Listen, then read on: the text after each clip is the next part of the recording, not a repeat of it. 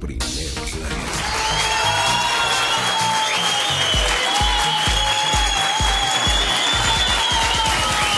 Muy buenas noches, bienvenidos como cada viernes a un nuevo capítulo de Primer Plano Imperdible. Porque el mago Jin estuvo en Iquique. Usted conocerá los pormenores, pero eso no es todo. Porque impactante, tenemos acá al profeta de América, Reinaldo dos Santos, por primera vez en nuestro país. El hombre que predijo la caída de las Torres Gemelas. El hombre que predijo el terremoto en Haití está aquí. Nos dirán los números del loco. Tenemos un completo informe. Un aplauso para el público, además. Tenemos un completo informe de lo que hizo el mago Jin en Iquique y de Reinaldo dos Santos, el profeta de América. Pancho Trujillo lo acompañó. Este es el informe de primer plano.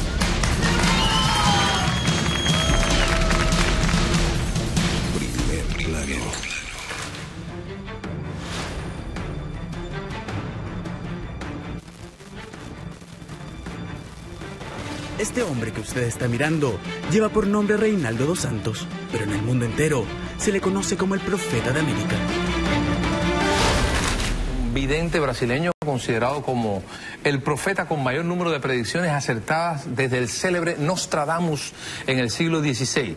Impresionante, increíble. En diciembre de 2008 dijo que no había terremoto en Colombia, sino iba a ser en Haití. Y nadie soñaba eso. Tenemos aquí con nosotros a Reinaldo dos Santos.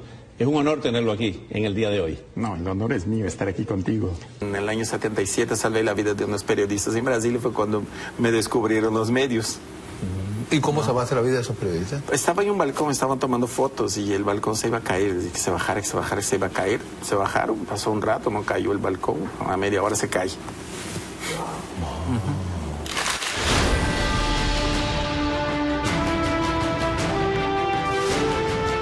Nosotros decidimos si vivimos mucho o si vivimos poco.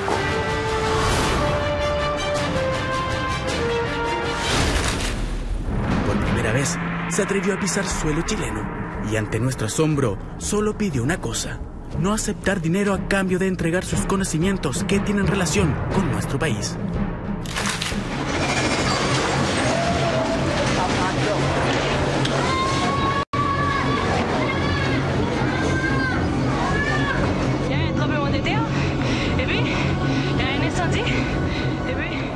Estas son imágenes del terremoto ocurrido en Haití el 12 de enero del 2010. Catástrofe que el profeta de América Reinaldo dos Santos predijo dos años antes de que este sucediera. Al menos así queda demostrado en estas imágenes de archivo. Hola, ¿cómo estás? Muy buenos días. Muy buenos días, señor Reinaldo. ¿Cómo está? Eh, ¿Qué es lo que usted quiere preguntar? Estamos preocupada, señor Reinaldo, porque dicen que va a haber un gran terremoto en Colombia entre el 2009 y 2010. ¿Eso es verdad? No, claro que no, no va a haber ningún terremoto en Colombia en el año dos- 2009. Lo que sí va a haber es más para la zona del Caribe, pero este más para el final de 2009, principio del 2010. El que ma- y el que más va a sufrir con esto será Haití, porque va a haber un temblor muy grande en la isla, lo que es Haití, pero, Haití, República Dominicana, pero principalmente en Haití.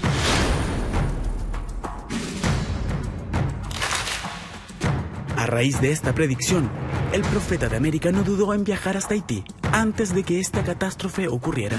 Experiencia que no fue de todo su agrado, siendo expulsado del país.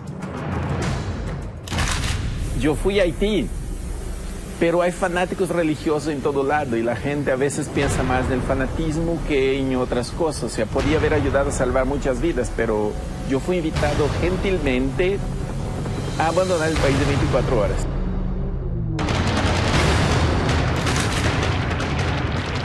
Historia, que la vamos a conocer hoy día, es realmente impactante. Y es que pone en jaque a todos aquellos que dicen que el futuro no se puede predecir.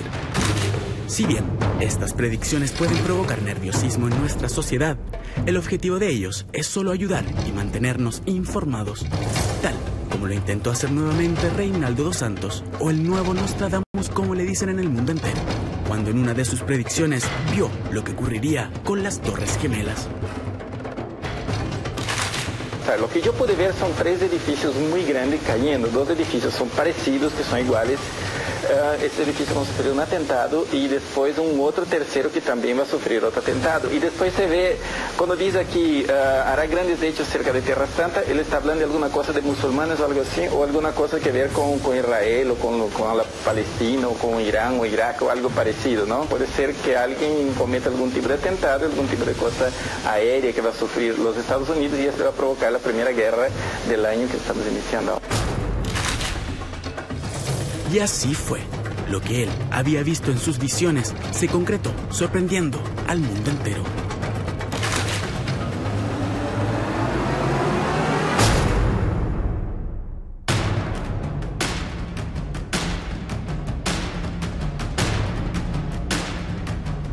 Puede ser que alguien cometa algún tipo de atentado, algún tipo de cosa aérea que va a sufrir los Estados Unidos.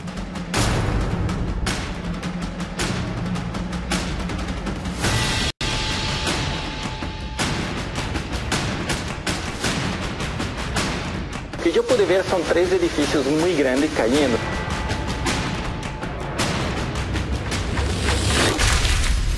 Primer plano. Para acercarnos más a nuestro país, este famoso profeta de América también realizó una predicción años atrás, meses antes de la muerte de Augusto Pinochet. Oye, también un hecho que nos involucra a nosotros fue la, una visión que tú tuviste acerca de Pinochet. ¿Ah?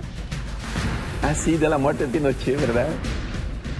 El comandante en jefe del ejército, Óscar Isurieta, entregó a Lucía Iriar de Pinochet la bandera chilena que cubrió el ataúd de su esposo. Con este símbolo se iniciaron los honores militares.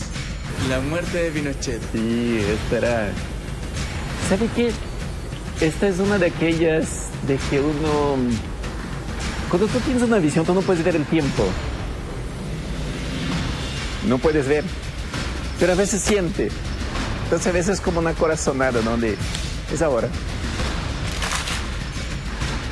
Un caso que sorprendió al mundo entero fue cuando este mismo profeta entregó su mensaje referente a la muerte del Papa Juan Pablo II, para confirmar su predicción con el reemplazo de este, hasta llegar al último Papa, Francisco I.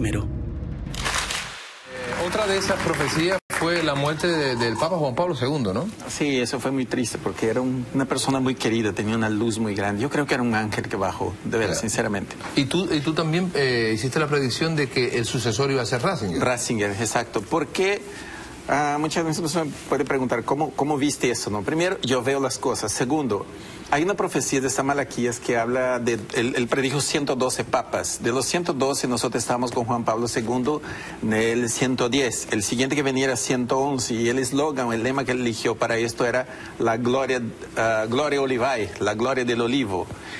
Este papa nació en un sábado de gloria, el olivo. Esta vez lo recuerda de la siguiente manera. Ahora hay una psicografía que habla de él, que, que hablaba de, la- de los muros de vidrio. Todavía está en curso esa profecía. Pero ahí estaba el nombre, Franco, Francisco. Ah, y, y está la cruz, que es la Tao, en la psicografía que lo podemos ver después. Y la Tao, el único santo de la Iglesia Católica que usaba la Tao era San Francisco de Asís. Y está en la psicografía la Tao de- de- de- de- del Papa actual. Del anterior, yo sabía que era Benedicto por, también por una visión que tuve de él, donde yo lo veía a, a Benedicto como fugándose, fugándose. Y esto resultó que ser que él fue electo Papa y después renunció. Pero yo sabía que era él, porque la cara de él yo la vi clarito. Pero ¿qué tendrán que decir los expertos sobre estos temas? ¿Cómo se sabe o se puede saber cuándo se va a su- a suceder o cuándo se va a generar efectivamente el sismo real? No lo podemos saber si va a ser hoy día, mañana, pasado, dentro de dos años, dentro de tres. Lo que sí sabemos es que se va a producir en el futuro cercano. Evidentemente un llamado a la calma a la ciudadanía después de estos cuatro o cinco días que ya que han pasado el sismo, eh, la, la comunidad tarapaqueña ha mantenido la calma y está tranquila. Si bien estos profesionales de la profecía hacen lo posible por ayudar al mundo, tiempo atrás también existieron. Un claro ejemplo fue Nostradamus, profeta que hace 500 años atrás predijo el atentado del 11 de septiembre. Según Nostradamus, a 45 grados de latitud el cielo arderá en llamas El fuego se aproxima a la nueva gran ciudad. Inmediatamente después surge un enorme incendio. ¿Hablaba acaso de Nueva York? Nunca en su tiempo se creó una nueva gran ciudad. Nueva, dijo. Y después de su muerte, la única ha sido la ciudad de Nueva York. Si bien Nostradamus lo hizo 500 años atrás, hoy en día estamos frente al nuevo Nostradamus, el llamado profeta de América, que se encuentra al casi mismo nivel del profeta del pasado. A comparación con Nostradamus, que él era 13, ¿o no? Nostradamus era 11. 11. O sea, Con esta decir medida, estás- espera, vamos a aclarar una cosa. Con esta medida y con lo que nos llegó de Nostradamus, tampoco podemos juzgarlo porque a lo mejor era impresionante en vivo, pero lo- la historia que tenemos de él hoy y cuando lo midieron era evidente nivel 11. Lo largo de los siglos, profetas como Nostradamus han cautivado a los creyentes utilizando el poder de la adivinación. En nuestros tiempos tenemos a estos nuevos profetas que intentan advertirle al mundo sobre sucesos que podrían ocurrir en algún momento. Es por esto que solo nos queda estar tranquilos estar preparados para cualquier eventualidad. Primer plano.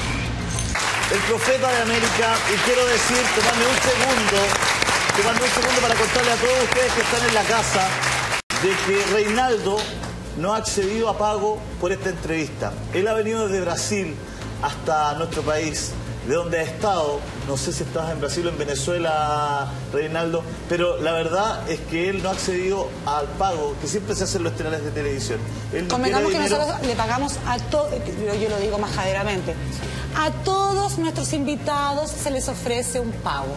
Hay algunos que dicen, paso, yo voy por otro tipo de razón. Como Reinaldo. Reinaldo, ¿por qué eh, aceptaste venir así? ¿Por qué te interesaba tanto venir a darle un mensaje al pueblo de Chile? Porque yo creo que esto es un, es un, un- un trabajo que podemos prestar a una colectividad para dejar a las personas tranquilas, para traer un poco de tranquilidad a los corazones de las personas y yo nunca había venido a Chile, entonces era una de las cosas que yo siempre he querido venir a Chile, cuando apareció la oportunidad. ¿Cuál es el mensaje, Reinaldo, que le quieres dar a, a- a nuestro público acá en el estudio, a la gente en su casa? Un llamado a la calma. Tenemos que entender una cosa, cuando se trata de- de- del futuro, nosotros tenemos que entender, cada uno de ustedes tiene que entender que el futuro lo hacemos nosotros. El futuro está aquí, el futuro está aquí, el futuro está aquí, el futuro está con los nuestros. Si nosotros comenzamos a pensar que una cosa va a suceder, va a suceder, va a suceder, va a suceder, eso sucede. Si nosotros decimos que eso no va a suceder, que va a estar bien y que no va a pasar nada, no pasa nada. Ejemplo, Pero, disculpa. Reinaldo, eso se parece un poco, Julio, a lo que dijo el mago Jim Sí, la semana el pasada. pasado, que es que si nosotros le ponemos energía a que no ocurra esto, no va a ocurrir. Ya, pero Reinaldo, ¿cómo, perdón, ¿cómo predice él? Predijo la- la- lo- el atentado a las Torres Gemelas. Usted predijo lo de Haití, lo vio, momento- lo dibujó. Hay un momento, espera. Existen algunas cosas en el destino que nosotros no podemos cambiar. Los acontecimientos cuando están antes de que suceda, nosotros no podemos evitar. Hay un momento de quiebre que ya no es posible. Hay un momento que eso ya no es posible. En caso de un terremoto, vamos, vamos a poner un ejemplo de un terremoto. Terremoto sucede. Por más que uno diga que no, que no va a suceder, que ese, que el otro, sucede. Ahora, el terremoto no mata a nadie. El terremoto no mata personas. Lo que mata personas son las cosas que caen en la cabeza de la persona que sube el terremoto o el tsunami que viene después. Si uno está preparado para esto, sabemos que va a suceder y está preparado para esto y tiene, decir, entonces no hay que tener miedo. No, sí hay que tener miedo. Pero nos protegemos, sabemos cómo Pero protegernos. sabemos cómo protegernos. Pero te digo una cosa, Chile, Santiago de Chile, no va a terminar con un terremoto. Los terremotos, al contrario que ustedes en Chile creen que es un enemigo, que es peligroso, que es... Y mira que yo vivo en una ciudad sísmica, altamente sísmica, que es la Ciudad de No, de México. qué? El terremoto, los temblores son amigos de Chile. A ver, vamos por, ¿Por parte. qué son Reinaldo. amigos de Chile? Les voy a decir, porque Chile en el futuro, la- la- las, las, Placas. las placas tectónicas que se hunden, esto no va a suceder con Chile, va a suceder esto. ¿Y qué va a tener un pasar? territorio en el futuro mucho más grande de lo que tiene hoy hacia el mar. ¡Ay, qué bueno! ¡Nos vamos a agrandar! ¡Fantástico! que no se entere Bolivia. Ana, mira, que- A mí me dejó- le puedo hacer una pregunta, Sí, porque por a mí me dejó sumamente preocupada una predicción que usted eh, hizo, que en 20 años más va a haber un 65% de desempleo, lo cual es grave, o sea, tendríamos que dormir con pistola y armado. ¿Va a suceder eso? ¿Cómo lo podemos evitar? Es muy complicado tratar de evitar esa situación por lo siguiente. ah, eso se va a evitar de otra forma, pero no somos nosotros los que vamos a hacer esto. Los empleos están migrando a China. China, o sea, hay que, hay que aclarar que China es un país de esclavos. De esclavos, Por más que diga que no, China es un país de esclavos, Cuba es un país de esclavos. tal cual. ¿ok? Con un dictador mandando y Venezuela va para el mismo camino con un dictador mandando, mintiendo a todo el mundo y convirtiendo a la gente en esclava. Esa gente no recibe nada, recibe un sueldo miserable. En, en- en Cuba, los cubanos que salen afuera reciben 200 dólares y después Fidel le paga 5 dólares a cada uno Y él vive como rey. y él vive como rey. Entonces hay que tener muy claro eso. Por eso que los empleos van inmigrando. Inmigrando. Esos países socialistas en realidad son capitalistas, amigos de los capitalistas. Por eso va a haber desempleo. El empleo, el empleo inmigra. Quiere ver una cosa absurda. En México se está construyendo un centro comercial y todos los empleados que vinieron a construir son chinos. Predicador. Mira, este año, este es un año, ah, el horóscopo chino dice que ese es el año del caballo Del de caballo, fuego. o de la Del yegua. caballo de, el caballo de madera es este año, ¿no? Ah, los, años de lo- de- los años del caballo en el horóscopo chino siempre son marcados por grandes sequías en el norte, por mucha lluvia en el sur. Siempre, eso es, es- es un ciclo que siempre se repite, se repite, se repite. El predecir el futuro no es solo estar viendo, sino que es estudiar, es buscar, es ver otras fuentes, leer en la naturaleza, leer la historia humana, la historia del planeta, se repite de cierta forma, no es igual, no se repite, no es un ciclo cerrado, tampoco es lineal, es como un caracol, se repite, regresa al punto, regresa al punto. Cada vez que regresa es diferente, es distinto, pero siempre va a regresar al mismo punto. Va a haber, sí, el sur, es que me preocuparía más el sur que el norte, pero tampoco es para que se alarmen. La vida es así. ¿Pero en qué se preocuparía? ¿En qué sentido Es más por la lluvia, también, también por, por temblores, también por eso. También por eso, pero no creo que es una cosa para preocuparse Es que tan sa- grande. eh, ¿Puedo decir algo? A ver, yo creo eh, en el tema de las energías, de que uno decreta, como dice el mago Yin, las cosas que le van a ocurrir, pero también la naturaleza opera de maneras que, uno, que a uno lo sorprende. En enero de este año, en una playa de Argentina, cayó un rayo a las 4 de la tarde y mató a cinco personas que estaban tomando sol en la playa. Entonces digo yo, ¿será que nuestra energía, por más que la reunamos todos, es más potente que la naturaleza? ¿O cuando la naturaleza se manifiesta no hay nada que hacer? Ok, déjame ponerte así. Si hoy en día desapareciera la raza humana del sistema solar, ni siquiera se enteraría que existimos o que algún día eh, hayamos existido. Nosotros no podemos hacer nada en contra de la gran fuerza de la naturaleza. Cuando hay que actuar, actúa. Nosotros estamos molestando demasiado el planeta y la naturaleza siempre busca una forma de librarse. Observa cómo el perro se libra de las pulgas, cómo el elefante se, se- se libra de las plagas. Del punto de vista del planeta somos una plaga. No hay que es una tener buena esto, hay que tener eso bien claro. Del punto de vista del planeta, nosotros somos una plaga. Ajá.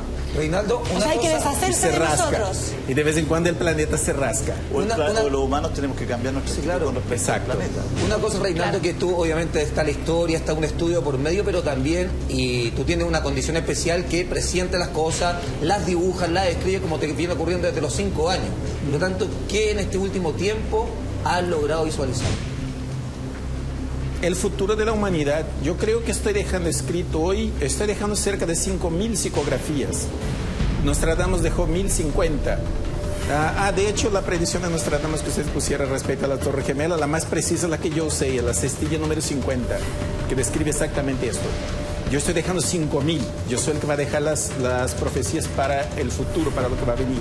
El ser humano va a pasar por diversas fases. Por ejemplo, vamos a tener un nuevo, un nuevo, perdón, se me va el portugués, un nuevo oscurantismo, como el que tuvimos antes, católico, pero será musulmán. Los musulmanes un día dominarán el mundo. Me El muero. 90%, el 90% de la población será musulmán. o sea, las mujeres. Observe, está sucediendo ahora en Alemania.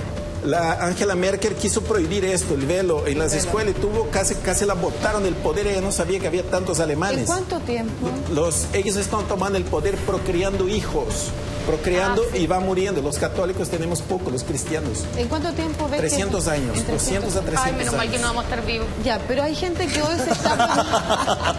hay Yo gente creo que yo marcha sí, ¿ah? sin pensar que sus Yo- hijos, yo espero. sus nietos Y los sus hijos de sus bisnietos- hijos. Yo quiero Espero- yo espero estar vivo. ¿Qué pasó? También, Reinaldo, porque ha, ha predicho varias catástrofes naturales y humanas también. ¿Usted ve pronto alguna catástrofe en el planeta? Catástrofe tenemos todos los días en el planeta. Pero alguna que Todos se los- pueda Ah, medir y Tuvimos una luz hace pocos días en, en- en Washington, terrible.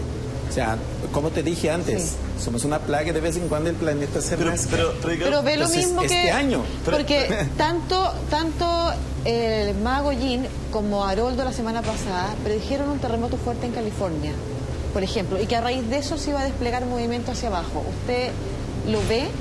¿Ha logrado ver alguna catástrofe de la naturaleza así, de esa magnitud para Pues un que me avisen, pronto? porque yo siempre estoy en California para salir corriendo, ¿no? Ya, no lo ha visto. no. No lo ha visto. Y con, Es- respecto, ahorita no. y con respecto a lo mismo que estaba hablando de las religiones, otra de las predicciones fue la muerte por envenenamiento del Papa Francisco I. Usted también ha hablado de personajes como los papas, como presidentes en nuestro caso. Yo discordo de esta profecía. ¿eh? Yo no, yo no creo que él se va a morir envenenado. El mago ¿Usted Jin no ha visto eso? eso. Usted, A lo mejor puede estar viendo otra cosa, otra línea del tiempo, yo puedo estar en otra línea del tiempo que no es esta. Reinaldo, Pero usted no la ha visto, El ¿no? viernes No, yo no la he visto. El mago Jin, el, el mago Jin fue el que dijo que el pontificado de, Bene- de Benedicto XVI iba a ser muy breve. Yo debo decir que discrepo contigo en tu opinión sobre Juan Pablo II, pero eso sería ya para conversarlo en otro programa. Eh, tú no ves esa profecía que ve el mago Jin, tú no ves envenenado al Papa Francisco. No, no, no debe envenenar el mago. El- Porque el- finalmente uno entiende que además el Papa Francisco también es una amenaza para la Iglesia. La Iglesia Obvio. católica. Porque ha destapado un montón de cosas que a la Iglesia no le conviene que se sepa. Yo no veo eso porque la, la- la profecía que está de él, de hecho la psicografía no es la que mostraron, ¿Hay es una otra. profecía de él? Sí, hay una que, que antes yo estaba aquí en un programa y mostraron ella que es eh, donde yo dibujé la Tao, que es la de San Francisco de Asís, que es la cruz de San Francisco de Asís. La profecía, es, esta psicografía son tres en realidad que tengo con respecto a eso. Y todos hablan de, de ciertas cosas que él va a hacer en el pontificado y que no hay ni siquiera señal de que va a hacer esto todavía. Pero usted cree que es de periodo corto, Reinaldo, porque No. dice... No, usted cree que no. No, no, Ah, no. eh, Y una cosa, ¿el nivel eh, evolutivo de la espiritualidad va a evolucionar a algo menos dogmático o, como dice usted, nos vamos a ir poniendo cada día más musulmanes? No, no, el problema es eso. Nosotros podemos ir quitándonos el dogmatismo, pero cuando tú, tú, tú- cuando nosotros sufrimos un proceso natural de morir y otra religión comienza a nacer, a nacer, a nacer, a nacer, obviamente vamos a pasar por un oscurantismo. Y eso Re- 800 años más. Pero volvamos, pero volvamos a Chile, volvamos a Chile. Eh, ¿Usted Porque qué como dice sintió? la mancha, en 300 años más no vamos a Sí, estar usted que, usted que sí. Primero que todo, yo creo que hay mucha Ya. gente en su casa que se pregunta cómo usted ve, cómo usted eh, puede, tiene el don de saber lo que va a ocurrir, lo dibujo todo. ¿Qué le pasa a usted? ¿Está en un trance? ¿Usted se encierra en un lugar algunas horas? ¿Usted está comiéndose un completo, un hot dog y de repente le viene Una visión? Una ¿Qué, es. ¿Qué es lo que, lo que le, le pasa? ¿En qué minuto Hay una profecía, mira, eh, eso difícilmente fue captado por las cámaras, pero hay una profecía que está en YouTube, ese, se llama La Última Profecía Tornado de Missouri, en donde me pasa uno de esos momentos de, de convulsiones, ya tengo convulsiones, Convulsiones. Yo siempre digo que yo soy el reinaldo que cuida al profeta, el profeta viene de vez en cuando y deja unos mensajes que no tengo la menor idea qué significa, y se va. Y después me toca a mí tratar de interpretar qué fue lo que dejó. No hay ninguna guía, no hay nada. Yo lo que tengo es esto, tengo una capacidad, bueno, hay gente que dice que yo sufro de esquizofrenia, hay gente que dice que yo sufro de, de epilepsia o algo así, pero no es ninguna de esas dos cosas y está comprobado que no es. Que al me sangra la nariz, convulsiones, sí. me imagino que la persona que te rodea piensa que... Sí, piensa, no, piensa de todo, piensa de todo. Te imagino un niño teniendo esto. Y usted tiene esas convulsiones, le sangra la nariz y, y de inmediato, pasado ese episodio, agarra un lápiz y empieza a dibujar lo que ve. No, a veces no puedo agarrar nada, a veces me, a veces a dormir. A ¿Ya? veces ¿Y en qué, y en momento es capaz de hacer esos dibujos? Cuando veo y estoy consciente y puedo hacer esto. Por ejemplo, ahora viniendo de México, yo tuve un episodio de ese dentro del avión. ¿Qué vio? Entonces, este, de, estaba viendo una, era una cosa muy extraña, ¿no? Yo no sé qué significaba porque era, era como un pájaro fal- que, que le faltaba un ala. Entonces yo regreso y estoy asustado pensando que el avión el se va a caer. Y no era eso. ¿Sabes qué? Que para ser un poquito más práctico, más conciso, tú obviamente seis meses antes del terremoto de Haití lo, lo predijiste. eh, también, pasó, antes. también, también pasó, eh, te echaron incluso de Haití, también pasó con las Torres Gemelas. A mí me gustaría saber por qué aceptas venir a un programa a nuestro país, un programa además donde no se te paga. Me, me tinca a mí que aquí hay un mensaje que quieras entregar, me tinca que algo nos quieres dejar. O sea, Sí. aprovechar las pantallas de primer plano como para decirle algo a, a todos los chilenos. Ya, quiero hacer dos cosas aquí. Primero, quiero explicar. Ah, primero que usted esté tranquilo, Chile es un país bendecido por Dios, Chile va a estar muy bien.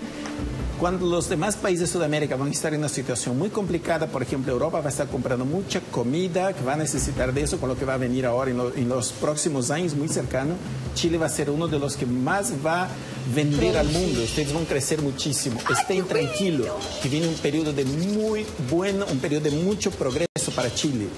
Será una de las potencias del mundo, se lo ¿En aseguro, serio? te lo puedo asegurar eso. ¿De qué cuántos años nos vienen prometiendo? Diez. No va mucho. Otra cosa. Año 88. Chile, la alegría ya viene. Todavía la estamos esperando. Otra cosa. Pero las yo grandes les pedí a que ustedes que me dejaran. Nosotros, mira, nosotros tenemos un, un historial. Yo viví una dictadura militar en Brasil. Abomino todo tipo de dictadura. Ningún dictador es bueno ni de derecha ni de izquierda. En este momento, los hermanos de Venezuela están sufriendo una fero- feroz y terrible dictadura y no sale ninguna información allá al mundo porque los medios están censurados. Nosotros somos miembros de la resistencia en Venezuela en contra de la tiranía. Hay cosas en Venezuela que están sucediendo que el mundo necesita saber. Las niñas están siendo sacadas de su casa, niñas de 14, de 15 años, por la Policía Nacional y se lo entrega a grupos paramilitares y las violan las niñas y el mundo no sabe de eso. Hay más de, hay más de 20 niñas violadas, hay videos de eso en internet y eso está sucediendo en Venezuela con el señor Maduro y América está callada. ¿Y Y me da vergüenza ¿Sí, de decir que mi país, Brasil, la presidenta que combatió una dictadura está callada frente a eso. El otro día en la OEA, Chile fue una de las, de las pocas voces en América que se atrevió a decir que el mundo debería saber lo que estaba pasando ahí. Eso fue una de las cosas que me llevó a venir a ¿Y Chile. cuál es su predicción sobre, sobre Maduro? Maduro va a caer como todo tirano que se cree invencible cae. ¿Pero pronto o en Pronto, muy pronto Maduro va a salir del poder como todo tirano sale del poder. ¿Y pero Venezuela va a lograr la estabilidad? Venezuela va a ser libre. ¿Por qué no nos describe los dibujos que hiciste con respecto a Maduro? Sobre Maduro. ¿A Maduro? Sí. Maduro no merece ni siquiera un dibujo. Pero tú no, tú Es no un hiciste- tirano. Pero tú no, tú no hiciste una eh, eh, dibujo con una horca, no. Sí, hice una, pero yo me negué a terminarlo. Yo creo que ese personaje no merece ni siquiera quedar en la Pero historia perdón, del país. ¿qué significa eso? Que el pueblo a lo Francia se va a sublevar El y- pueblo ya está sublevado. Sí, pero el Nosotros- pueblo lo va a matar.